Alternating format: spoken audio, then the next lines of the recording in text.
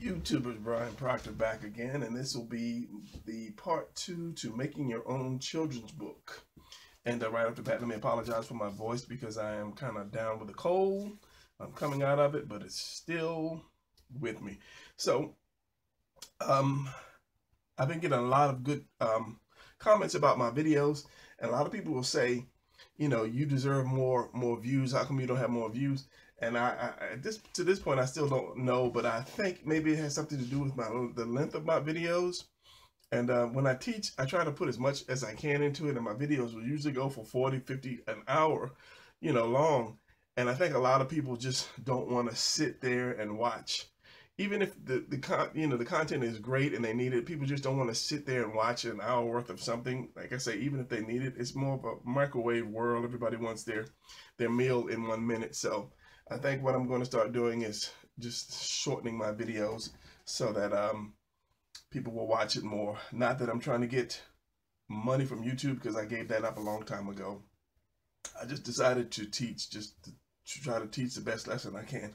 In any way, so that I won't continue to lengthen this uh, video, I'll stop talking and start drawing. So this will be more on um, design, character design, but not so much on character design, but more on drawing, how to draw. My pencil broke and it's going to break again.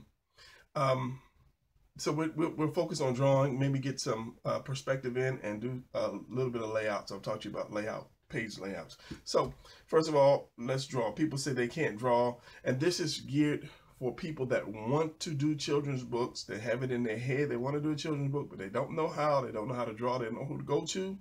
So this is the easiest way that I can possibly show you how to draw. We can all draw square, circle, and triangle, and I will always say that in all my videos. Everybody can do that. If you can do A, B, C, D, then you can make these shapes. So the easiest way I can I can show you, and as I said, a lot of this is in my, my videos, make a rectangle. Let's just say this is the size of the person that I want minus the head and then just come up like that. And it's going to be your legs. Your head is here and your arms are here. And this is a simple way to do a person. Now, you can always lengthen it depending on if you're going to do a man or a grown-up, shall we say. Now this, I'm going to stick with doing children. So I'm going to draw the bodies more geared toward children. So doing that, you want to put your triangle here, and that's your underwear. And if you have a child, you you know what the shape of underwear are because you've changed them so many times. And that, that'll come in later why you want to put it there. But basically you want to know where the child's waist is, so that, that helps. And then you want to put your half triangle, or if that's hard, just an oval. Usually I'll use a, a half triangle because the foot is usually more pointed that way. And then for hands.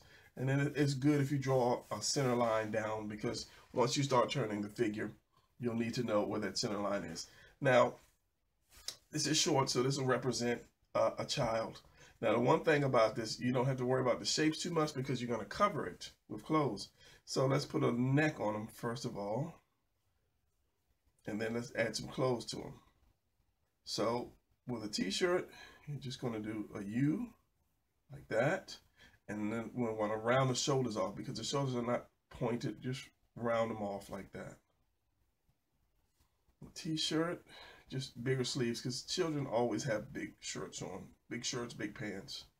And then the body, you can actually bring it in, slim it in a little bit, just curve it in and out around the hips, and the waist and the hips. But as I said, we're going to cover that up. A lot of it is going to get covered up by its clothes but you still want to have just a little bit of shape. And then the pants, like so.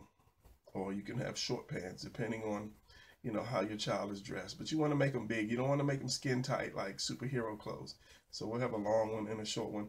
And then if the leg usually comes to the point from the way I show you, just bring it out a little bit more.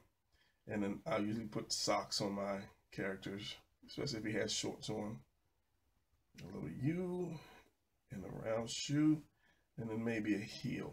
And let me ink that real quick. I, I don't want to get into, as I say, long drawings, but let me ink this just so that you can see where, where I went with. Round the shoulders off. T-shirt is going to come down low.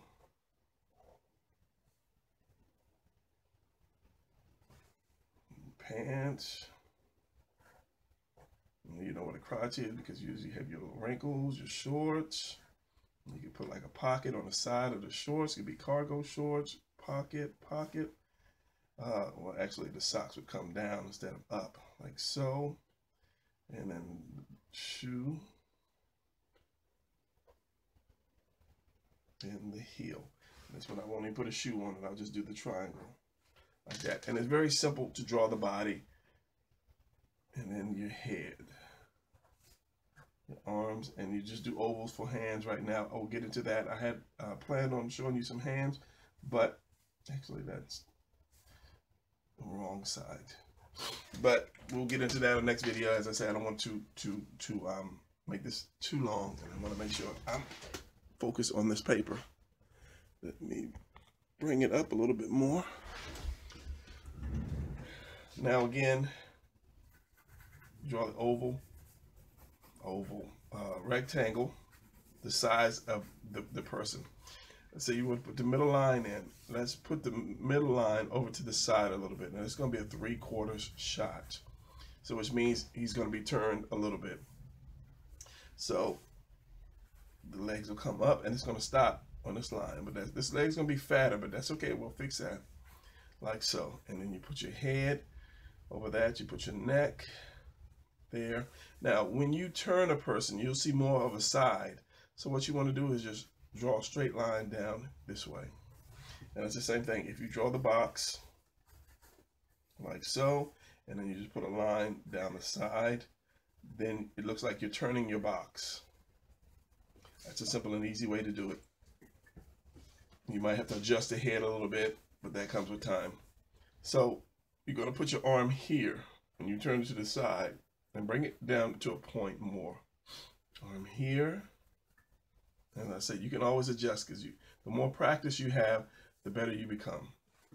And then, as I said, you can always lengthen the uh, legs to fit the character.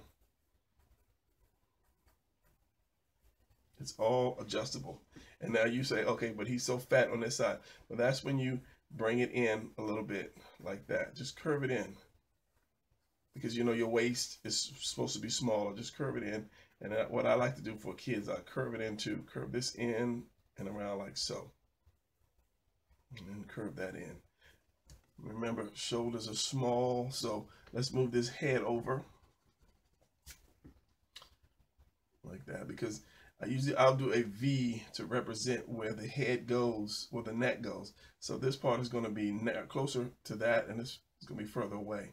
So the head will go like that. And then you have your three quarter shot. Now the kid could be looking, or your character could be looking this way, could be looking that way, depending on how you draw it. So, and again, once again, as I say, it doesn't have to be perfect because you can put, you will put clothes on your, your character. And the shoulders. And once you get into doing more wrinkles in your clothes, it'll be a little easier for you. I actually have a, a video on doing clothes, and it was part one, which I have to finish eventually because that video has been out for a while. And then your hands.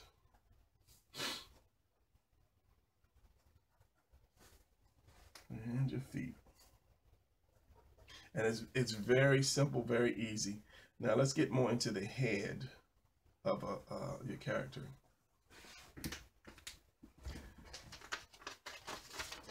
Now, doing the head, everybody knows you start with an oval. But actually, if you can um, do more of an egg shape, wider, or, or, yeah, wider at the top, and more narrow, narrower, that's a word that that gets me all the time, like synthesizer. That's a hard one for me to just throw out. Narrow, narrower at the bottom. But if not, don't worry about it. Just do an oval. Now, let's do this and the shoulders. Okay, let's do another one here. And this and the shoulders. And it's doing the shoulders are just because some people might get lost. They're like, I don't know what he just did. So let's just say you do this. This is your body again. Your shoulder, your your straight line, your V that represents where your neck goes, and your head. Now your shoulders are just just imagine drawing a triangle like that from there. Now let's take this cat right here. Let's do center, center, and this is how you draw a face. Center line, center that, and you make the X, center that, and go, uh, or should I say half, half of this whole thing. From here to here, you want to go half. That's where your eyes are going to go. From here to here, half of this is where your nose is supposed to go. And from here to here, half of that is where your mouth is supposed to go. So that's supposed to be your proportions or perfect proportions for face. Now, if we do this and your ears go above that line from the nose to the eye, now, let's just say that's your full grown man, but you're doing a children's book. So let's take this guy here.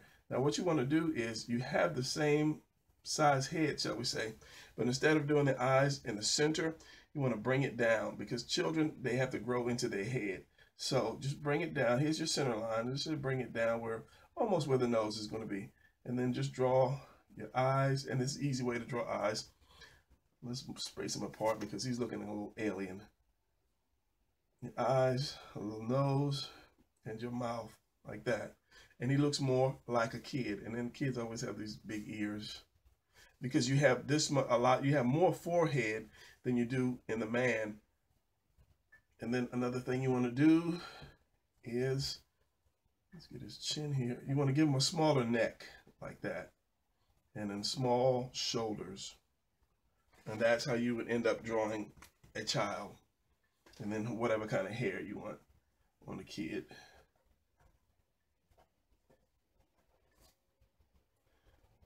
And you can have any kind of eyes you want.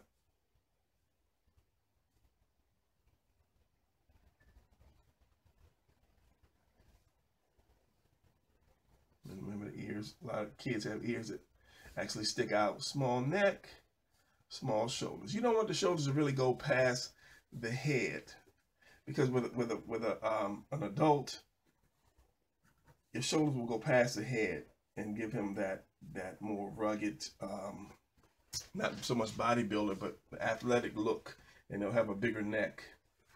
But for a child, you want to keep it that way. And the same way with a woman. If you're going to do the woman, let's just say that's the father, that's the child, and here's the mother. Give her a point, the pointy chin, and then come up. So you're doing the same thing. And with her, the same thing. Your eyes are going to be in the center. The nose, and then the mouth. Now, already it looks more feminine than this because the chin is pointed. And that's kind of crooked. Let's see if I can change that. You don't want you don't want a triangle point, but you want it more pointier. And then with the woman, I will give it the just if you can't draw lips, I'll give it just the bottom lip maybe color it a little bit. A smaller V nose, and then depending on if you want to do um, the eyelashes somehow, you can. You can keep the eye round, but there's many ways to do eyes. And then there's your mom for the, the um, child and her ears as well. And then whatever type of hair she's going to have. And let me ink that just because I'm inking. So round eyes, couple eyelashes. Don't go crazy like this. That that that's childish. Just maybe put one or two. Is it child's book? Uh, you don't have to leave the light source. I always talk about leaving a light source. It could just be black. Uh, small nose, bottom lip, just go straight across, and then that. And a little way to do a shine is to whenever you color it, you just leave a little little piece of light a little light source somewhere. And then point that. Her ears could be covered. It might not be covered, depending on the hair. And then, of course, a woman will not have a broad neck as well. She'll have a, more of a medium neck. And with her, whenever you do the woman, like this guy has a triangle neck, his kind of slopes down. You want to do the woman the same way. You want to kind of slope it like that, more of a curve to it. And you don't want you don't want her shoulders uh, too wide as well. Just a little little past the head. Now see, even that neck might be a little big. And then let's just put a shirt on her just because it's YouTube. There you go. And then you have your woman, your your you have your heads, the way to draw heads. And I think doing a baby, it's going to be even bigger, smaller. I think the eyes might be even bigger for babies. And the mouth smaller. Give it a little chin, fat jaws. Now, if you are creating your own character, then the sky's the limit. If you're drawing like from your, your grandchild or, or something like that, then you have a basically a starting point. Your, your grandchild or your daughter or your son, you have a little starting point. I don't want the baby to be so fat, but you kind of get the point. The wider the eyes, the bigger the head, the, the smaller, the, the closer you bring the chin up to the baby. And he's going to have the small, small, small ears as well. And don't forget the little baby eyebrows, just like everybody else has to have eyebrows. Babies usually have bigger eyes because it's, it's a cute thing. And as I said, a little small, small mouth, uh, big head. I throw little cheekbones on there, make the little cheeks kind of like puff up and then the head, and then ears, and then not much hair for baby.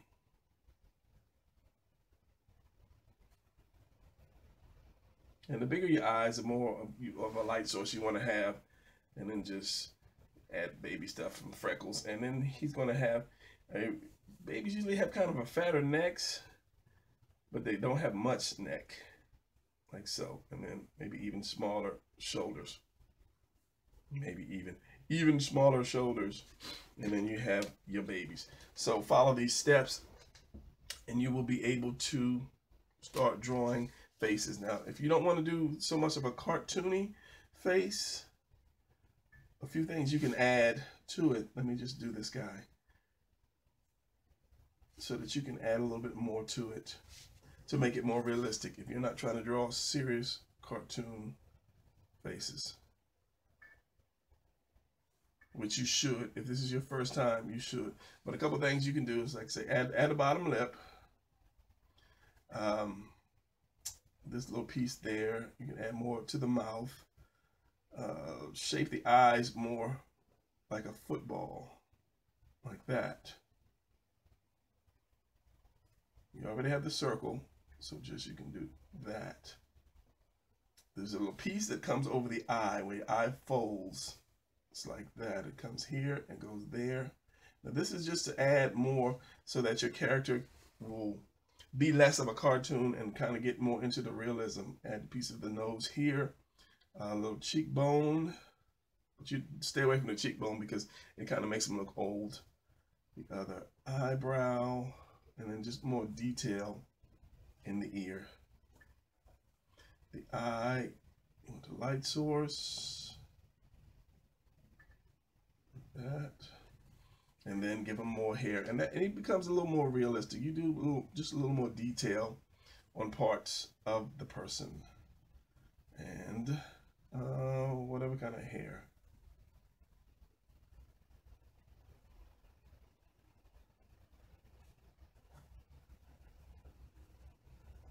And it becomes a little more detailed instead of doing the cartoon. And there are more things. If I wanted to make this guy old I'll start putting some wrinkles around there, the little crow's nest, the crow's feet, uh, maybe the wrinkles around the eye. Then I would start to do more of the little cheekbone, make his face a little thinner, make it more swollen, uh, like sinking in, and then it becomes old, either old or sick, one of the two, depending on what you're shooting for.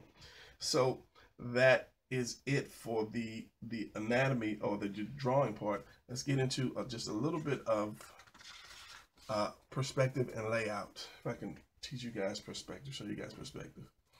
Um, vanishing point. Let's just say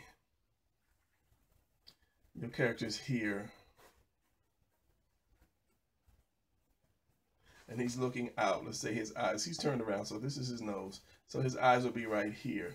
Your vanishing point is wherever you look out at. So as far as you can go, that would be your vanishing point, as far back as you can go. And I have to use the, the, the train track, the train track um, example.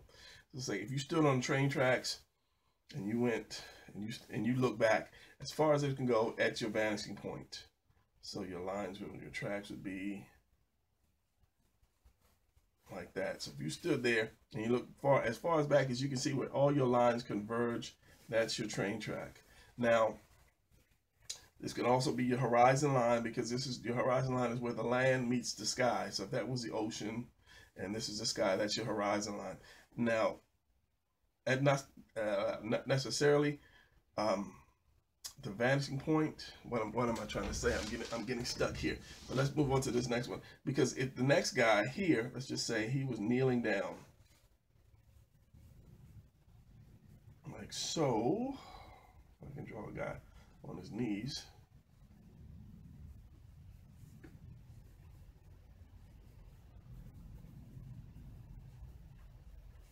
And he was looking there. That would be his point of view right here because he's looking down. But this guy's looking, he's kneeling down, so this guy's looking up. And I'm also off focus. Okay, let's get this thing back together because um, I'm running out of time. I'm 21 minutes now, if I'm not mistaken. Anyway, this is your your eye line. I call it your eye line. And whatever wherever your eye line stops or lands. Anything below your eye line, you're going to see the top of it. Anything above it, you're going to see the bottom of it. So if this guy was standing on the tracks, and he would have to actually, in perspective, he would have to be standing here, looking that way. Now, anything above that, he would see the train tracks coming above. And this is something that you can't really teach in three or four minutes. So that would have to have um, what is it, structure holding it up because you'd see the bottom of that. So if I drew the trestles, trestles, is it what it's called? It would be like this because you'd see the bottom of it. And then your tracks. So yeah, wherever your eye is, that's your perspective. So I'm saying that to say, let's say this is my scene in my book, in my children's book. Now, I have to gauge where the um, reader is going to see. So if I say, let's say the, the eye line here, as the artist, the eye line is going to be here. So it's going to be a room. So I'll put the room, let's say I put the door here in the room. So anything above that, you're going to see the top of it. And uh, let's say put the wall here. There's a wall here. There's a wall right here. And this is my floor right here. So if I did like a, the ceiling light, let's just say, and this is getting kind of hard for you guys, I'm going to see above it, I'm below it, which is natural because it's a ceiling light. But anything here, if I put a table, because my eye line is right here, so this is where I'm standing as a child, uh, I'm small. So if I do a table, I'm going to see the top of the table and that perspective is off. And that's the way to draw a table. Just start drawing boxes, and then you can do this, and then erase the rest.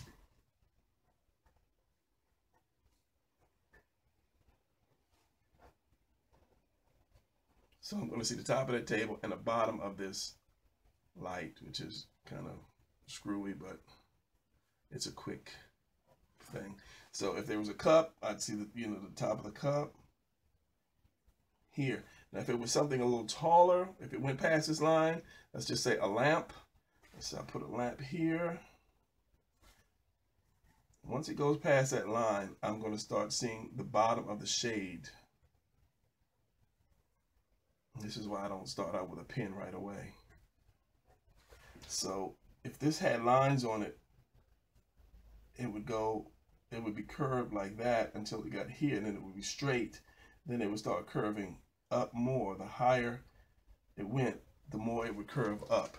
So anything above your eye level, you would see the top, you would see the bottom of it. Any object, anything below, you would see the bottom. So anytime you do a page, you would have to figure out where your eye line is going to be. Who's who's viewing it? Is it going to be um, from the character's standpoint or from your standpoint as the artist?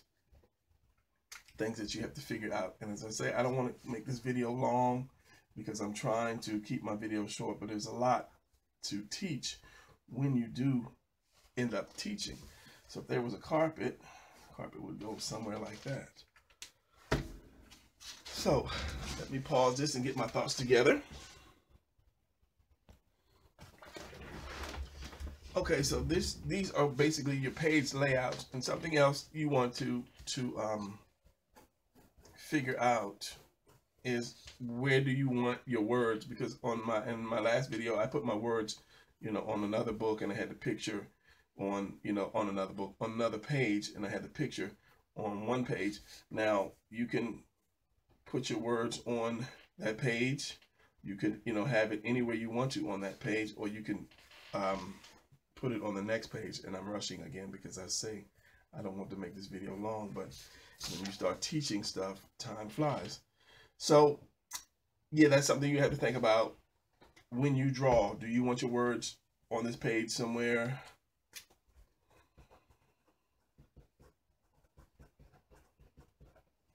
Or do you want it on another page? Um, a lot of people, when they draw, they'll leave space. Oh, it's my alarm. I don't know why it's going off. They will leave space on the drawing. If this is your paper, the picture will go, could be like this, and then they'll have just words for your uh, place for your words.